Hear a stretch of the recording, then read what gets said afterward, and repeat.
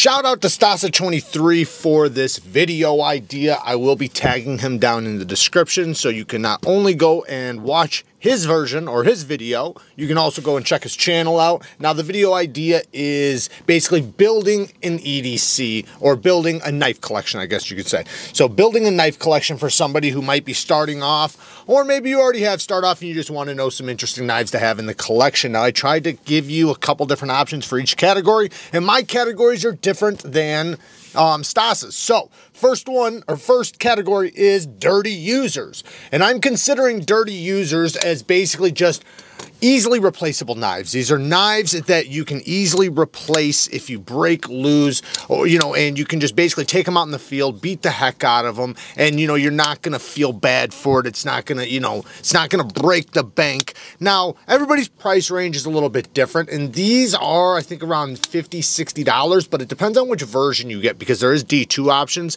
This one is the VG10 option. Um, it's either VG10 or, um, or 10CR, but it does have a deep carry clip um, that is reversible and it has a crossbar lock. It's nice and slicey. It's very ergonomic, um, nice and slim too. And it's just a great overall profile and a great user. It is riding on bearings, by the way, too. Then you have the Rat 1. Now, this is a classic. I threw it in here just because this is a knife that is so damn tough. It, it's shockingly tough. Uh, this knife is made to actually break, to have a catastrophic failure before it slips. So you're not going to, the lock's not going to slip. It will actually break before it slips, making it basically turn into a fixed blade.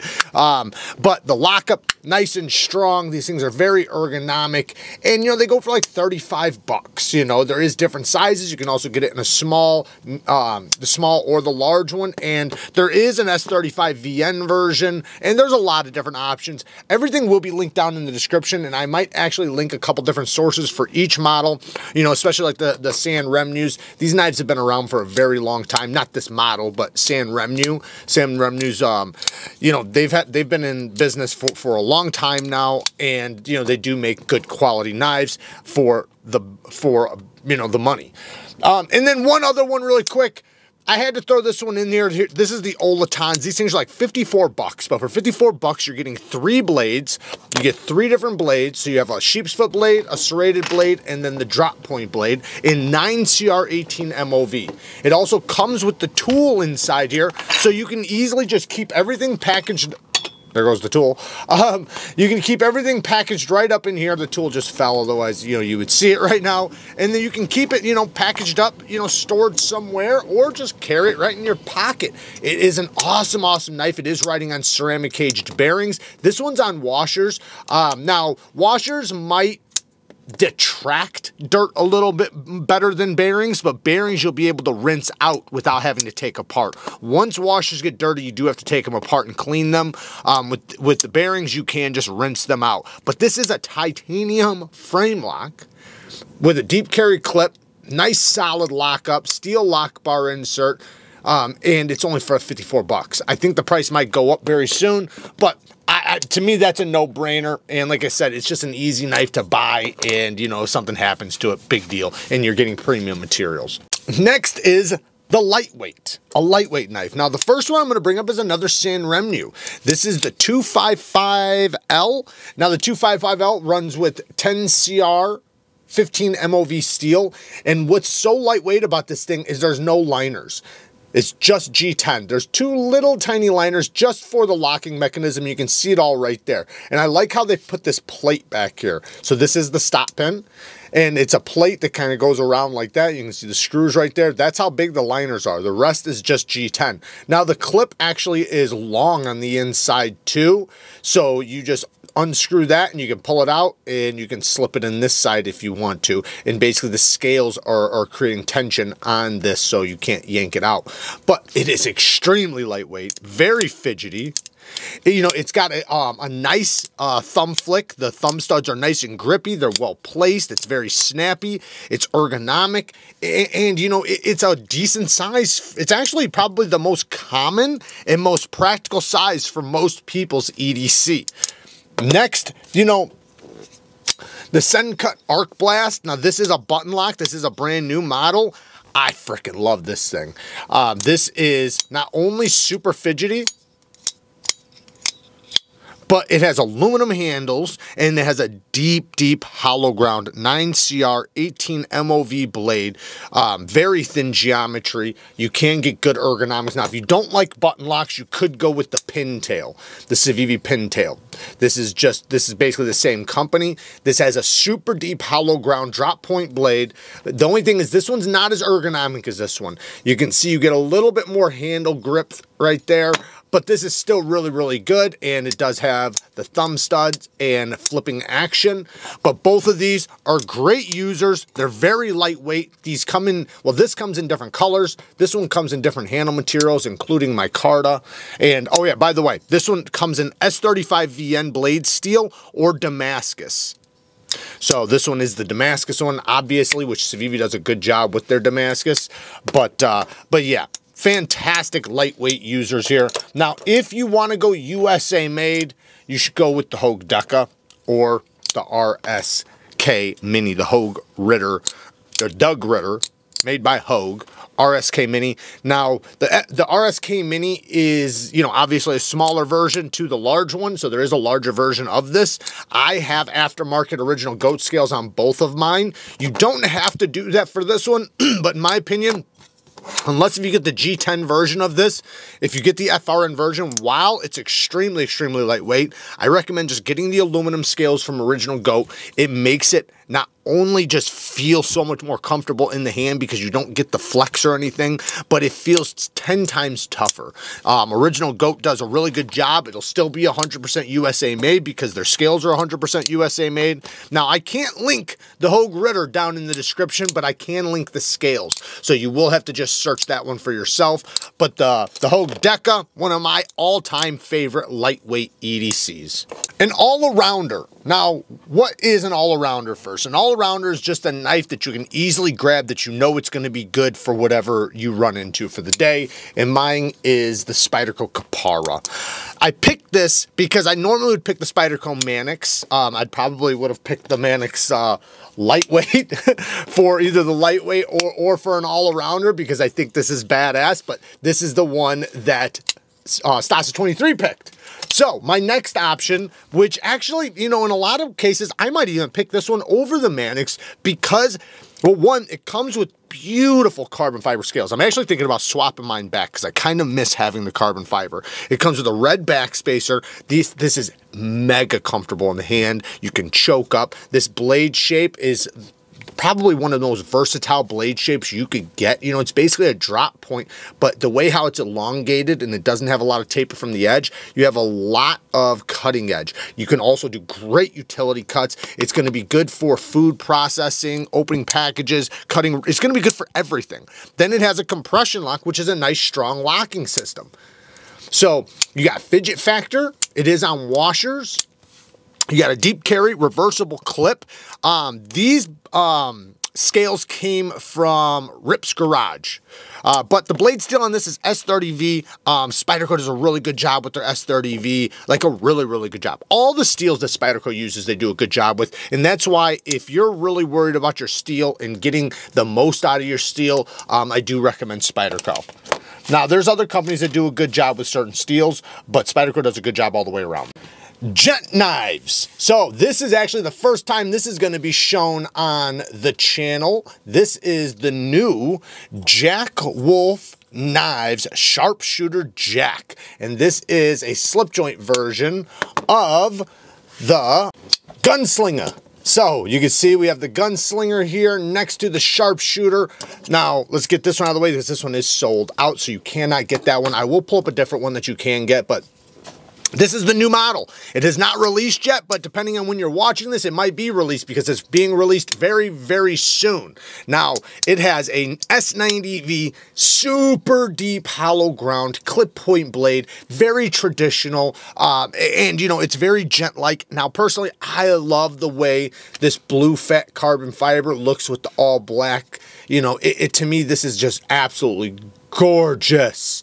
Um, I really wish we would see him do some of these slip joints with, with the clip option like he does for his locking versions. Um, by the way, this is one that is available right now. And, you know, just to remind you guys, check out the Neeve Knife Co. site. Um, anytime you guys go into the description, you guys are going, going to go to the links. Check out the Neeve Knife Co. site. We, we, in many cases, have some of the stuff that, you know, I'm featuring. Not all the stuff, you know, but like we do have a couple more, um, of these Jack Wolf knives, After Hours Jacks, which is my favorite Jack Wolf to date. But anyways, as far as gent knives go, you know, I, I, would say that he is, Jack Wolf Knives are abs is absolutely killing it in the gent knife department. This is a beautiful knife. It's very slicey. It, you know, it's got great walk and talk.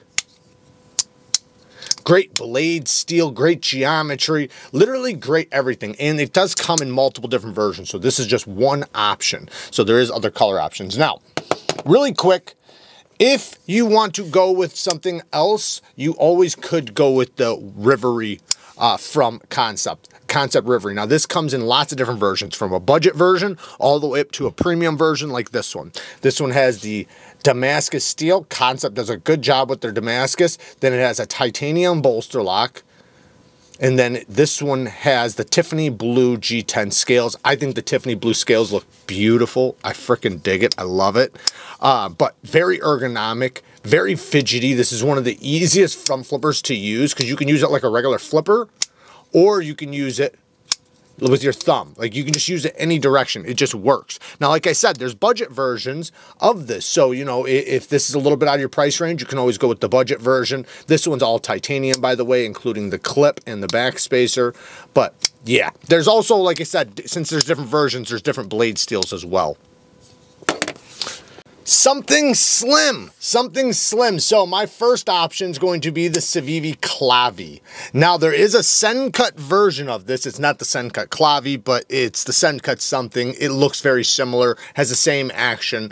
But this one is the little bit more um, premium one using Nitro V steel with a beautiful, great example of a Wharncliffe blade. And this is very slicey. This is precision. It's basically a glorified letter opener, but damn it is this thing slicey. I mean, you, you can, for opening things up, tracing things out, utility cuts, this thing is, probably one of the most useful knives you could get. And it's so lightweight, it's so slim, it's so easy to carry. And the front flipper, if you're not good with front flippers, you can roll it around. So you don't have to flick it, but you can flick it because it does have a great detent and a great front flipper. You can also do the reach over, but if you're not good at it, you can easily just roll it around because as you bring it around, it does lock itself up with this liner lock. G10 scales comes in different color G10. Um, the non-deep carry clip is what I prefer on this because it's slim. And since it's so slim, you know, you don't want a deep carry clip in the hand. But yeah, fantastic knife. Now, if you don't like front flippers, then you could always go with the mini uh, Begleiter. So the mini Begleiter comes in lots of different options. This one's a 20 CV option with fat carbon fiber, but there's even more affordable options with my micarta, and I think, I think it's 154 CM. I'm not 100%, but, or no, it's N690. Sorry, N690 steel. It does ride on ceramic cage bearings. This is one of the smoothest mini knives you'll ever find. I mean, especially for thumb stud action. I mean, this thing is just redonkulously smooth. The thumb studs and the detent is tuned to perfection. It is very, very fidgety, but you know, it's a compact little knife while not being thick. You know, it's nice and slim in the hand and nice and slim in the pocket, very lightweight. And like I said, comes in lots of different flavors for you. I freaking love it. Now this does come in a large and an extra large version. The large version is the same thing, just a little bit longer, a little bit different blade shape, but same idea. And then the XL comes with a button lock with um, a flipper and thumb studs. Let's get to the next category. Something small, something small and compact. We're going to start off with the Spyderco Dragonfly. This is in K390. Now, you could also add this into the lightweight um, category. There's a lot of these knives you could flip to a different category if you wanted to, but this is a very, very small knife, very, very lightweight. It's like paper light, um, but it's K390 steel, which Spyderco, one, does a phenomenal job with, but two, it's just a beast mode steel. This is like, it's, it's absolutely my favorite steel at the moment. I love K390. It takes some of the most sharpest edges I've ever experienced and it holds the edges better than any other steel I've ever experienced as far as, you know, like polished edges and stuff. But, you know, um, it's just a fantastic steel all the way around. And like I said, this thing is, is very tiny, very compact, very lightweight. Now you could also go with the Chaparral. The Chaparral is a very slicey knife. It's a little bit bigger, a little bit more robust as far as size goes than the Dragonfly, but it's even slicier with the geometry. Very, very slicey. CTS XHP steel. I think Spyderco does a phenomenal job with their CTS XHP. Mine does have titanium hardware. This was aftermarket, uh, but it comes with FRN scales with a deep carry clip that is reversible. Again, another backlock. Now, if you don't like backlocks, you could go with the Mini Native. Um, so the Spyderco Mini Native or Small Native it is a all well 100% USA made first of all, but it uses a compression lock rather than the back lock. So it might be a little bit easier for you to use if you're right-handed. If you're left-handed, I wouldn't recommend this one. I'd recommend one of these. S30V steel, again, Spyderco does a really good job with it.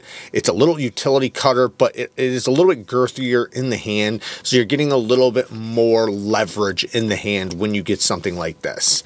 Um, but Awesome, awesome knife. I freaking dig it. It is riding, all these are riding on washers. Now, if those were out of your price range, you could always go with this little Trivisa. This is a little compact knife, very, very small. Like you don't expect it to be as small as it is. It's like a three finger knife, but you can cram four fingers on there. More of a pinch grip knife.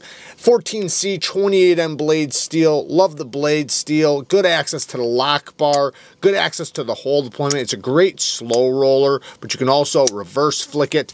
Um, but yeah, just a little compact micro knife that, that's actually very useful and it works really good. The next category is something interesting. Everybody needs something interesting in their knife collection. This is the Kizer Grazioso, a Manganis design, and this one has the brass bolsters with really good quality micarta. I love the way these complement each other. It also comes in black G10 with copper, which also, you know, complements itself very well and looks really good. Uh, very ergonomic. It has a harpooned recurve blade, which you don't see very often. It has N690 steel, and it does come in a premium version. Good access to the lock bar, great flipping action, and it does have a brass backspacer as well. Not reversible with the clip, but it is deep carry. And, you know, it's a liner lock action knife that, that is, you know, it's not going to break the bank, but it is something unique. It's something different. The Begg Knives Bodega. Now, this is a budget version of a super premium knife, uh, handmade knife that uh, that's been around for a long time. But this has, you know, it has an aggressive look. It's kind of unique. You know, it has the holes in the harpoon drop point blade. It has the holes on this side as well to kind of complement it. Lots of hardware. It has the ceramic ball clip, good access to the lock bar, and it also has aggressive jimping on the lock bar without it being aggressive to your finger. It feels really um, well done. And then the flipper tab and flipping action is some of the best you'll find on any knife. I mean, it is phenomenal action. This thing cranks out there. It's funny how strong the detent is on the flipper, but yet the reverse flick is nice and easy. So very ergonomic. And, you know, like I said, it's just something a little bit more unique and a little bit more out there. And then just one more, if you want to go with a little bit more premium, you, you could always go with the Reate EXO, the gravity knife. Now, this is a locking version. So you can carry it in the pocket because it has a clip and it has a lock. So you can lock it inside the pocket. Comes in a few different blade shapes. There's all different sizes. This one's the medium. I'm not sure if this exact one is available right now, but they do have the mini available and I think the large version. Um, but awesome, awesome knife. This one's in 3V steel with a double-edged dagger, titanium scales. Mine has burlap, but there is other options. Um, like usual, there's going to be other flavors. This knife is not only fun to play with, but it's also, you know, it's unique. It's different. It's not like anything else out there, which is really cool. It has a cool sound. You know, this is something that when you hand to somebody, they're, you know, they are pretty fascinated with it because it is really, really cool. Hard use, a hard use folding knife. I'm going to go with the Cold Steel 4 Max. This thing is an absolute behemoth. It's a monster, but damn it is it tough. I mean, just getting it in your hand, you can feel how solid this thing is. But when you watch the testing done on these, you realize how indestructible these things really are. This thing is tough as nails, and you know, it's a knife that'll survive through just about anything you throw at it. And for a folding knife, that's remarkable. It has a nice big blade. This one has AUS 10 steel. So this one's a little bit more affordable and it has thumb stud action with the triad lock. The tried and true triad lock, which is, you know, the strongest lock on the planet and definitely the strongest lock as far as being durable over long periods of hard use. Made in Taiwan. Just in case if you don't want to get something this big and this crazy, you could always go with the Spyderco Manix XL. This is a very strong lock. It's also fidgety, so it's going to be a little bit easier to, to not only carry, but to handle and maintain. Um, not that this one's difficult, like like you've seen, you've seen I, I can do this one-handed, but it's obviously going to be a little a lot heavier and a lot thicker, a lot bigger. This one is not going to be as hard use as this one, but it's very slicey, very capable, great heat treat, good locking system, and it's just a badass knife all the way around. Also, for a tough EDC hard use knife, you could always go with the Benchmade Griptilian. Now this one's the mini. I do have the large one. I just can't find it for some reason. But the mini is it, you know, it's the same thing, just a larger version, and I freaking love it. I think everybody should have a mini grip in their collection. This is a knife that's iconic. It's been around for ages, and it's just a tough as nails knife. It's a knife that, that survives. Um, even my large one, I've had for years, and the thing is still rock solid and is still, you know, just as good as it was out of the box. Now, the Mini, in my opinion, is a phenomenal little hard use knife. So if you want something compact, something small, something lightweight, but something that's strong, durable, and tough, this thing has, you know, somewhat of a thicker blade stock. So it's going to be a little bit tougher and it does come in a drop point too. I think the sheep's foot is the best blade shape from it, but the FRN scales are very grippy. It's very comfortable. It's easy to carry, easy to flick. Even with gloves on, you can easily deploy this and get it closed and put back in the pocket. And the big one, you know, is just as good as the mini. So I would say one of these three knives for a hard use knife. And then a fixed blade. Now there's a lot of fixed blades I can recommend, but if you're on a tight budget and you want something really good quality, I do recommend the Harpoon from Kizer. It is just a little harpoon blade, micarta scales that are extremely, extremely comfortable. It is D2 steel because they did have 10V versions, but they're all sold out.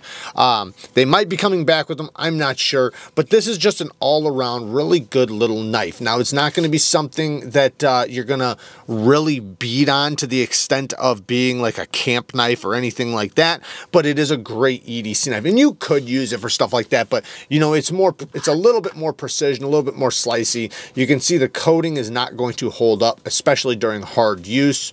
But the red micarta scales, I think there's only one one of these left right now if you want to get the um, the Deadpool edition one. Um, and then it does have snaps for the belt loop. So, you know, you if you don't want the snaps, if you don't want to carry scout carry, you could always switch this to like a tech lock or some other sort of clip to, to put on your sheath. Uh, but I love that knife. Now, if you want to go USA made and maybe a little bit tougher, and you want to be able to be a little bit tougher on it, this is the Bradford Guardian, and there's lots of different versions of this, different sizes. Um, this is a great EDC size while also being, you know, thick, robust, and tough and and it's also still plenty slicey to be you know just a great cutter. Nitro V steel, which is a very tough steel. It has G10 scales with a lot of grippiness to it, and there is a lot of different color options um, available. Comes with a leather sheath. I do wish it was a Kydex sheath, but you can carry the Scout carry, and it does hold it pretty snug. So, you know, just an all-around badass knife from the USA Bradford Guardian. So there you guys go. These were Great knives to start a knife collection or to get into knife collecting. There are so many phenomenal knives. There are so many companies. I could have just recommended all their knives from, from specific companies, but I wanted to break it up a little bit and show you guys some stuff that you guys might not always see. And, you know, you also got some options that you might see quite often because they are very popular and are such good knives. Anyways, work hard, stay tough. Until next time, peace.